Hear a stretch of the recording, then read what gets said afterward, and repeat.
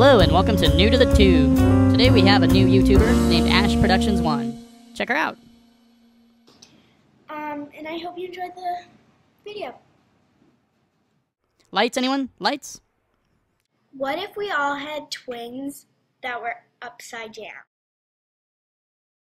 What if we all had random spaz attacks?